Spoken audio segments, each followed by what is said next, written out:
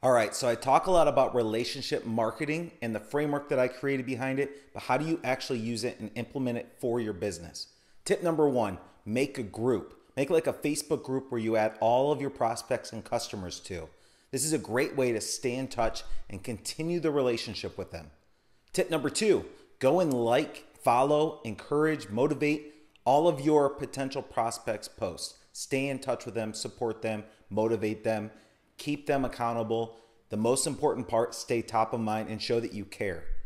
So when somebody sees that a business or a business owner is engaging and encouraging, think about how good or excited that will make that person feel.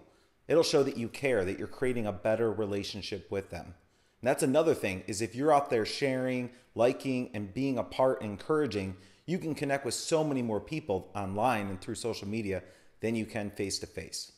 Number three, add them to a list, some sort of list like a newsletter list, um, getting them to your articles, somewhere where you can continue building value and providing value for them.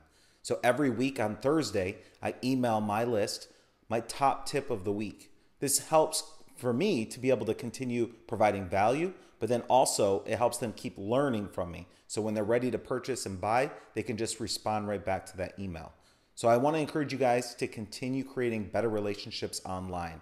Think about in person. You can only connect with a relationship with like 10 or 30 people, right, per month. But online, you can 10x that. You can connect with thousands of people on a monthly basis as long as you continue creating better relationships with them. And that's how you truly grow your business.